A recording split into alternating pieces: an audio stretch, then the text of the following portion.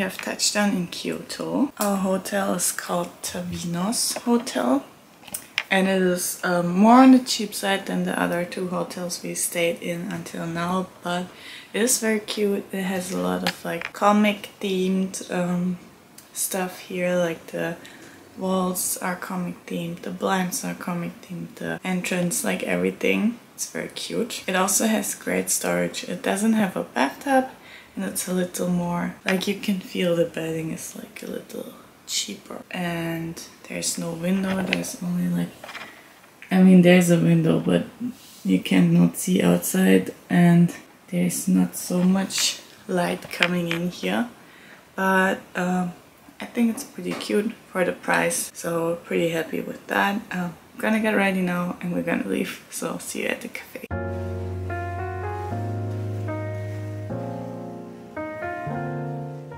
When we stepped outside of the hotel in Kyoto, there were some pretty big differences to Tokyo and Osaka, which we noticed right away.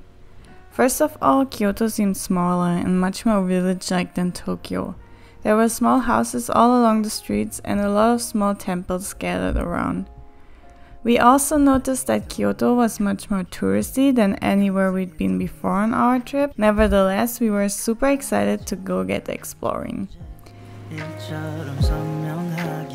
First we went to Kumono Cha cafe to get some coffee and matcha and of course we couldn't resist getting some all of their cute desserts too. And I really admire the Japanese attention to detail and quality and the amount of work and attention to detail the Japanese people put into everything, even such a small dessert. And this really seems to be something you can rarely find anywhere around the rest of the world and it really amazed me again and again throughout our whole Japan trip.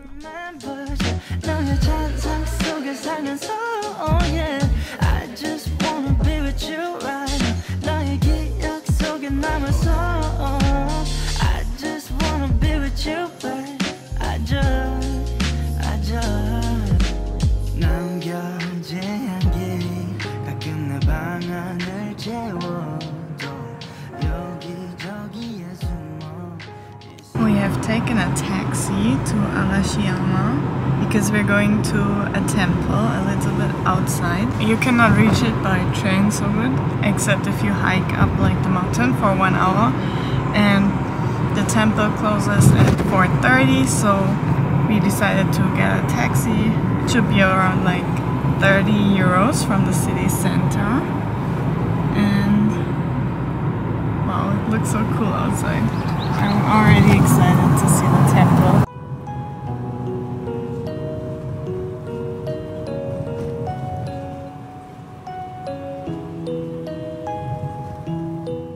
I was pretty excited to go to this temple because I'd seen some pretty cute pictures, but when I heard the story, it got me even more hooked.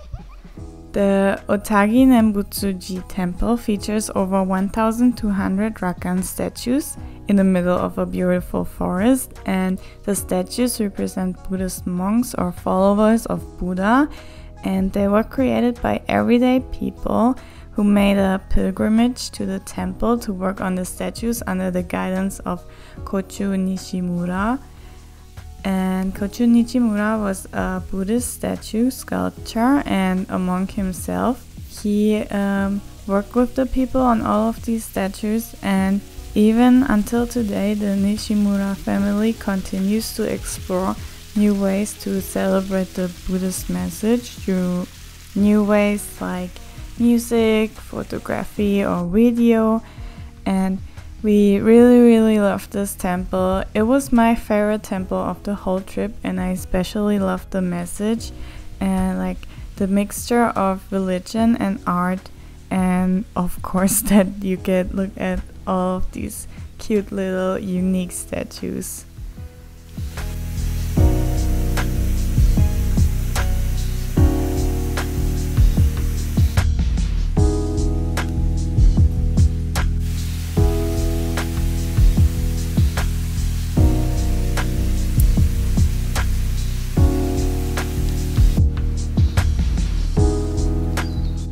I think that was my favorite temple until now and it was really nice.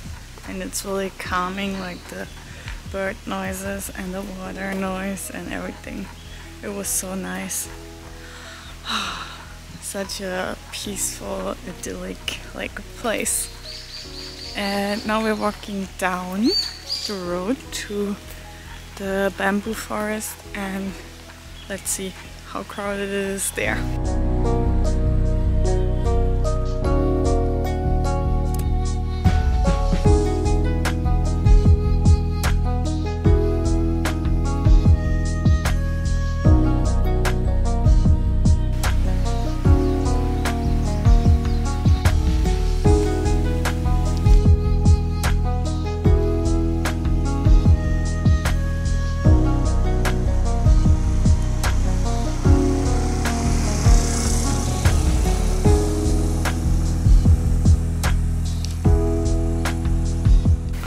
Just wanted to say that um, I read everywhere it's super hard to get to the temple because there's a hike and let me just show you the way.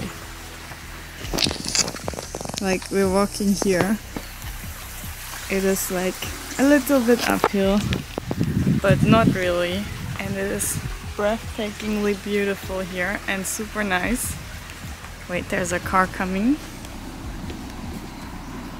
need to go here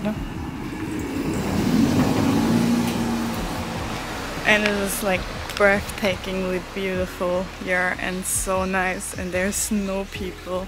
So if you want to come to the temple I would actually recommend not getting a taxi but walk here. Oh, I love it. So cute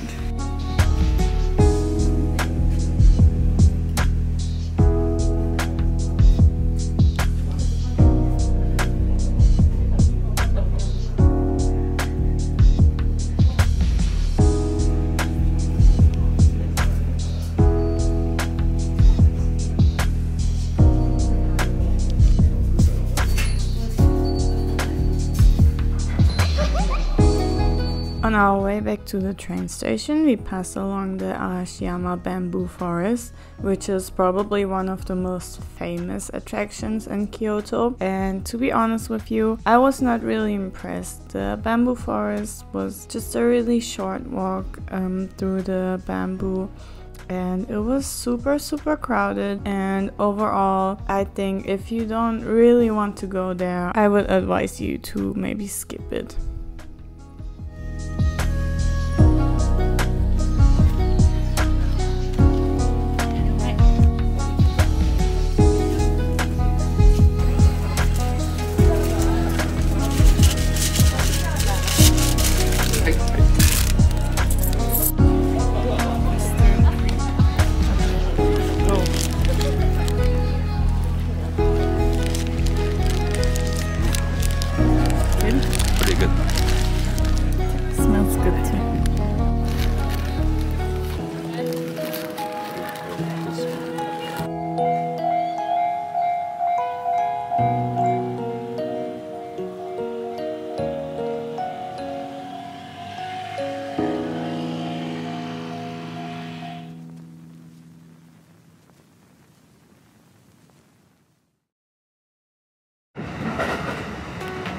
On our second day in Kyoto, we decided to do a day trip to Nara because it's only like about one hour away with the train. And we also decided to rent some kimonos. And I'm so happy we decided to do that despite having some worries about people calling out on us for cultural appropriation or being too touristy because we had a really good experience with this. The boyfriend wore a more simple dark blue kimono and I wore a cute purple one with flowers and I also got my hair done and added some extra accessories like a second obi belt and a cute pearl belt and they also give you shoes and socks and a bag so you literally don't need to bring anything.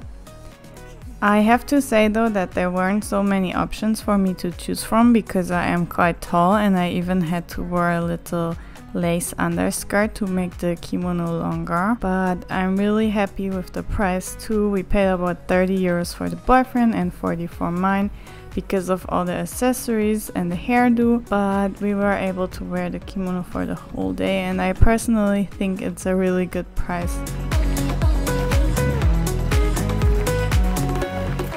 Since Nara was Japan's first permanent capital, it has a lot of temples and shrines to visit, like the Kofuku-ji temple, which has the second tallest pagoda in all of Japan, or the Kasuga Taisha shrine, which is super stunning and also a UNESCO World Heritage Site. And if you're looking confused enough like the boyfriend and me did, there are some free guides who will explain to you some things like the 2 to 1 rule or like general etiquette at shrines and also some stuff about the pagoda for example. And if you don't know about the 2 to 1 rule, I suggest you have a Google search right now and inform yourself a little bit about the shrine etiquettes before coming to Japan. What the Nara of today is probably most known for though are the human-friendly deer who stroll around the whole city freely. You can feed them with crackers that you can buy all over the city for a few yen and they will even bow to you. You should definitely follow the rules when feeding the deers though, like show both of your hands when they're empty and you don't have any more crackers or they will follow you or bite you or even do some other stupid stuff. And yeah, just be safe and follow the rules.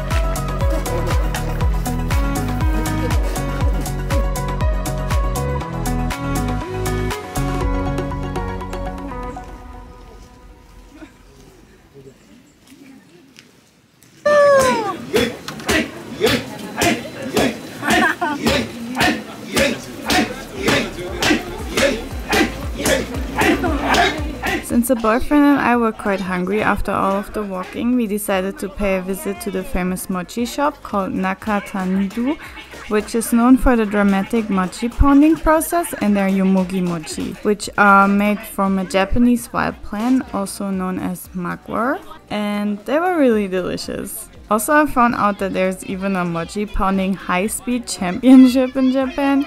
Can you believe that?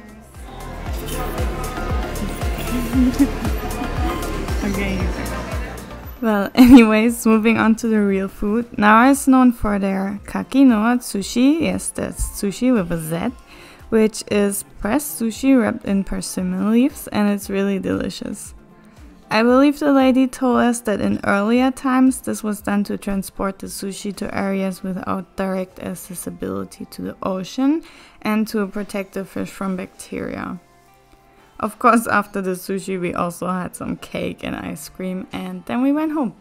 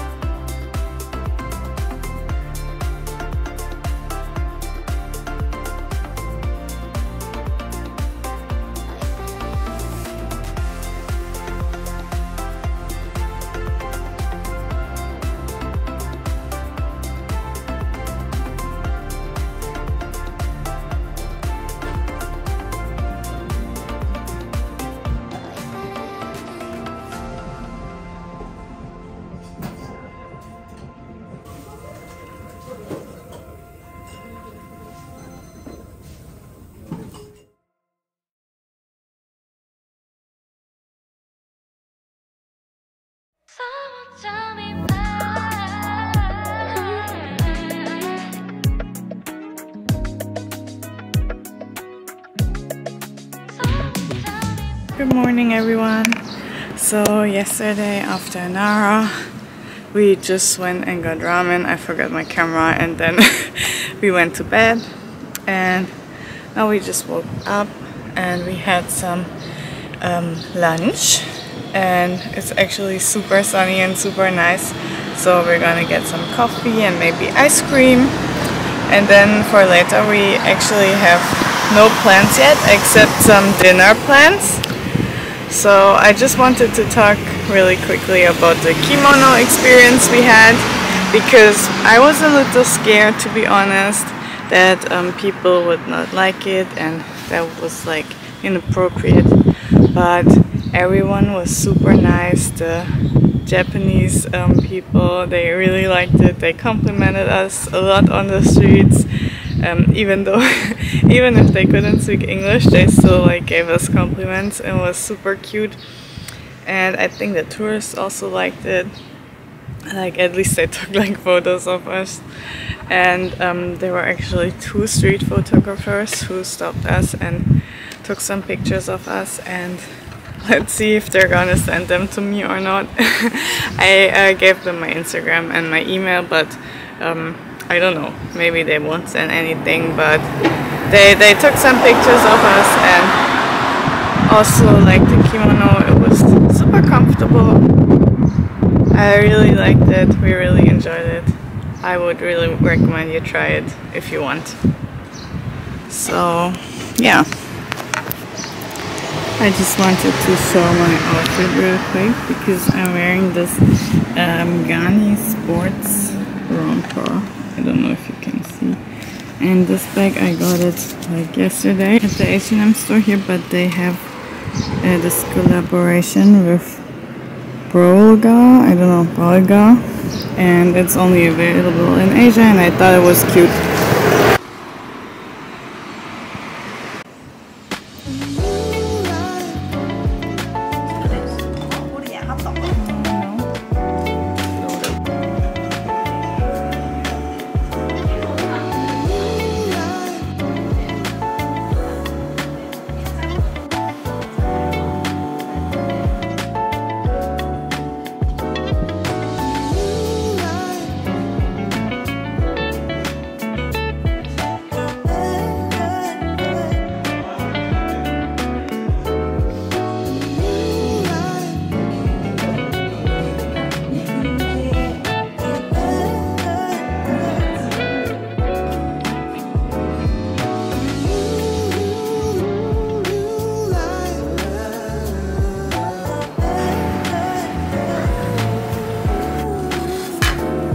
When